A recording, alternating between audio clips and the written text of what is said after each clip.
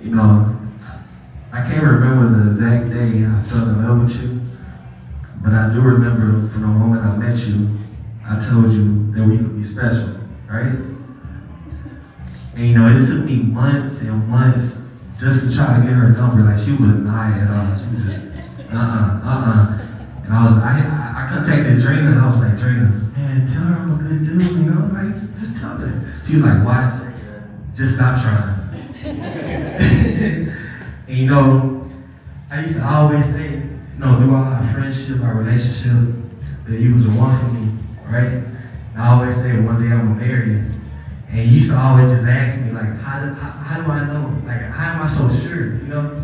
And I never had the words at the time, but I always just told you it was just a feeling, you know, just a feeling that I felt in my heart. And I feel like God really brought you to me for a reason. And ever since you came in my life, it's not it's been nothing but joyful and my heart just been better than it's ever been before. And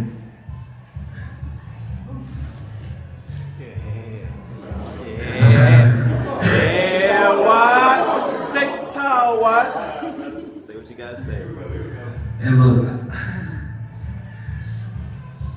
I love you, you know I love you with all my heart. And I think it's time for us to not only just continue this, this journey together, but make it forever.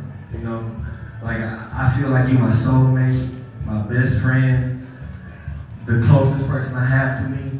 You've been there, like the last one of the last things my grandma said before she passed away was make sure you marry that girl. And you know, like that's always stuck with me. And like, I want to be there for you forever. I want to be your protector. I want to be the person you confide in. I want to be the person that wipe your tears away. I want to be your everything forever. So I say all of that. I ask you one question.